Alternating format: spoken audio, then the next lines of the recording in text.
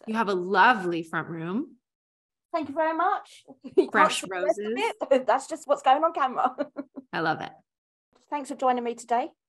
Thank you. Thank you for joining us. That's all right. Um, so I mean, I've only seen the the first couple of episodes of the series, and I mean, from the title alone, it seems a little bit misleading. There wasn't much of the romance there, um, which you know, I'm not complaining. I'm not about that bothered, but there was a whole lot of um, say guilt-ridden anguish, especially for Romesh, your, your character De- Deacon. Um, can you tell our, our audience a little bit about what they can expect from this series? Um, well, the the I guess what what they can expect is two people uh who are in love and desperate to have a child and can't do it and the expense of IVF forces them to do something very extreme and the series kind of plays out what the ramifications are of that. You know they're incredibly desperate. They want to make this happen. They've been through the mill. And so they decide to take this drastic step of stealing from their work in order to to help them fund their IVF and um you watch them undergo the stresses of the fallout of that basically. It's kind of uh, uh you know it's a relationship comedy set against the backdrop of a really high pressure crime situation do you know what i mean so it's kind of those things uh running concurrently alongside each other um really. And in regards to the lack of romance, that's because Katherine Ryan made it very clear that she didn't want to touch me during the course of the filming. That's true. And that's because I feel like romance can come in many forms. And some people are quite physically intimate and passionate. Uh, and other people have been married for nearly a decade and they show romance through, you know, acts of loyalty, acts of service. And, you know, I think the romance does heighten though you won't you won't read it immediately as like passion but these two are very united and very much in love but just trying to get away. Yeah assuming uh, just assume that every time they're not on camera they're absolutely smashing they're going for yeah. that's an image i needed thank you. Um uh, Romesh, you also um, co-created and wrote the series, and it's quite an original concept as well. I mean, where did where did this idea come from? Ben, ben and I had this idea of like uh, uh, of seeing what the fallout is from committing a crime, and we and, and we just sort of thought that we'd sort of watched you know things like Ocean's Eleven and stuff like that, and you see the you see a crime being committed, and then we just thought what happens. We just thought we wanted to show something that happened after that, but we didn't want them to be we didn't want them to be criminals. We wanted them to be regular people, uh, just because we just felt like for a comedy it would be easier. It's just better. It's just better for comedy if these people are kind of thrown into it as a result of their circumstances. So that was kind of the starting point. Um, and then everything else kind of grew from there. Really, we we we wanted it to be a relationship thing. We wanted to put those two people under stress, um, and we wanted that relationship to be convincing. So we kind of uh, put all of those things together, and it was like there were a lot of iterations of the show. You know I mean? We we played around with how much we wanted the crime to be at the forefront, how much we wanted the IVF to be at the forefront. We and we wanted to achieve an, a balance, and hopefully we did. But um, yeah, the the starting point was very much like what happens if two people end up committing something pretty radical in a very kind of regular, normal backdrop. Do you know what I mean? So that was that was always a starting point. Yeah. Um. Also, it's like you just mentioned the IVF and the fertility that can be quite a, a touchy subject for some people as well. And to wrap that up in a comedy storyline, and with the whole culture, you know, where everybody is offended at the slightest little thing these days, um, was that a worry for either of you to come, uh, you know, filming this, knowing how it might go across? I mean, I think in um, my stand up and on my podcast, I've talked a lot about struggles with fertility and non-linear journeys to creating families and pregnancy loss. And I think lots of comedians touch on a variation of subjects that might have darkness and might be very traumatic and very relatable to people.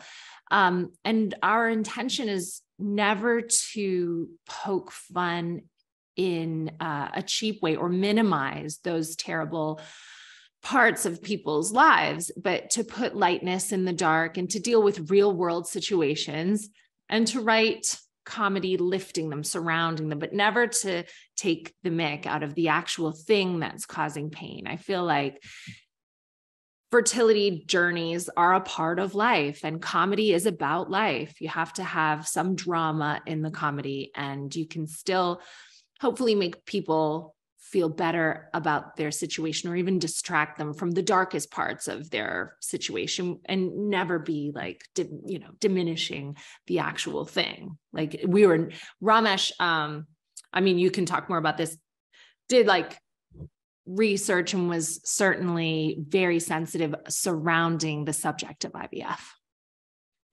uh, yeah, we. I mean, we we wanted to handle the thing sensitively and make sure it's difficult because, as you said, that's quite a serious thing and we're writing it in a comedy. And so we wanted to make sure that we handled that properly. Um, and a lot of thought like a lot of thought went into how we portray it in this show. Like we you know we, we didn't take that responsibility lightly. Um, but at the same time to your point about sort of people getting offended I, I don't think that should be a driving force behind what you decide to write about I, I don't think you should allow yourself to not write certain things or tackle certain things because you're worried that people are going to get offended. I mean, I'm not I'm not looking to offend anybody. I'm not looking to antagonize anybody, but um, at the same time, that's not really. I, I, think the moment you start allowing that to become part of your creative process, you've got a problem, really. Yeah, definitely. Um, now, this show has quite a few comedians and comedy actors um, within the series. From just the two episodes that I saw, there was quite a few. Um, were you ever worried that there was like any too many cooks in the kitchen quite scenario going on at any point? Was there any clashes, comedy clashes, shall we say, behind the scenes? Uh, I don't. I, I, think if you've got a comedy, you just want to ram it full as many funny people as you possibly can. Do you know what I mean? I, I don't think, you know. And and the thing is, like, you know, Katherine's a very generous performer. I want the show to be good, and so if somebody comes in and absolutely smashes the scene and it's hilarious, that's great. Do you know what I mean? I'm not I'm not sitting there going, oh bloody hell, they're funnier than I was in that scene. What are we like? You know, I don't give a shit about that. I you know, like I want the show to be funny and you know, for, for example, Tom Davis appears in a later episode. Uh, you know, Johnny Vegas is a steam stealer. There's no denying that. And when Tom Davis turns up, he's unbelievable in his scene. And I just think when I watch somebody be absolutely brilliant, as Katherine was throughout the whole six episodes, you just go, "How amazing is this? Like this this show that we're working on has got these people being really brilliant." Do you know I mean? I, I, I, I don't see any negatives in that really. There there it's were no clash. gig, isn't it? Yeah, and um, yeah, exactly. It's the same any gig, unless it's a prick, and then you just think, "I hope they." but um, but um, I think um, we're in a very privileged position of knowing a lot of people and uh, uh who are funny. And so you kind of want to populate it with your friends really. You know if they're talented i wouldn't you know i wouldn't use nepotism i wouldn't put anyone shit in it just because they're a mate of mine you know what i mean? Uh, much as many of my friends would want to be. But um yeah I, I kind of wasn't worried about that at all. I just thought we're really lucky. And a lot of these people that agreed to do it i just thought i could you know i just had you sort of like pinch yourself. You can't believe that they're willing to come and do it. So it was um it was a proper treat man. We're really happy yeah you mentioned in friends i know you two have been friends for quite a few years haven't you yeah. Yes. Yeah, I mean, when you were when you were co-writing this, uh, did you have Katherine in mind to take on the role as Allison? Yeah, it was written for Katherine. You know, I, I, when we when we first started developing the show, the first decision that was made was that Katherine Ryan was going to be in it if she was up for it. So, um, and I text Katherine when we are still originally developing the when we first had the idea, and we got to a point where we knew that was what it's definitely going to be. I text text Katherine straight away and said, what do you think of this as an idea? Um, and she said yes, because at that stage there's no commitment because most TV shows never make it to screen. Um, but, but yeah. also that's the only way I'll ever be in anything because I'm terrible at auditions. So I'm just very lucky that I have very wisely hooked on to the coattails of my super talented friends. And then when they have something going on, I can be like, mm, I'm pregnant again. Please, I need a job. um, so yeah, it was always going to be Katherine. Yeah. Okay.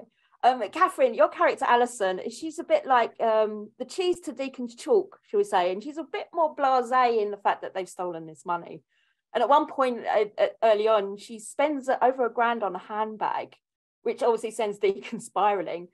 If you unexpectedly come into a ton of money, what what would make you so frivolous? I did unexpectedly come into a ton of money. Um, I used to work in an office, and before that, I was a waitress, and I never imagined that I would be embraced by comedy fans in the UK, and I would get to tour and I would get to buy property in the UK. Um, so, I mean, that genuinely, I feel like in a roundabout way, I robbed Johnny Vegas uh, so that I could support my child. Um, I, the most frivolous thing I've ever purchased was a horse. And he wasn't, you know, British horses are not that expensive. You could just see a horse in a pub. Uh, he's not a race horse. He was like a little pony that my daughter rode. And he turned out to be a little bit problematic. He was mounting some of the mares, and the mares are bigger than he was, and they would really beat him up. So the farmer across the road rang me and he said, You got to stop this pony mounting the mares, or else he's going to get killed. And I respect mares because they look after each other and they look after themselves. And if you are a little white pony who tries to mount them, they will kick you into the dirt. So I had to change his feed, take all the sugar out of his diet, which I didn't even know lowers the libido in men. And um, eventually we gave him to my daughter's best friend for free because he was such a liability in my life. So that was money absolutely wasted. My daughter fell off him a couple times. He got beat up by some mares and then I gave him away. And that was the most frivolous expense I've ever made. Well, thank you so much both for your time today. It's been a pleasure, and I can't wait to see the rest of the series because the first two episodes had me bawling. Oh, good. Thank oh, you brilliant. So Thank you very much. That's very kind of you. Thank you. Thank you. Bye bye. Thank you. Bye. Ladies and gentlemen, you're watching Hey You Guys! Hey, you guys, huh? Hey, you guys. Is that yeah. from the Goonies? It is indeed, yes. Nice. Hey,